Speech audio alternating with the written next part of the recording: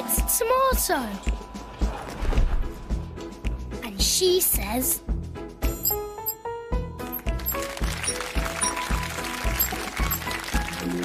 It is not a tomato.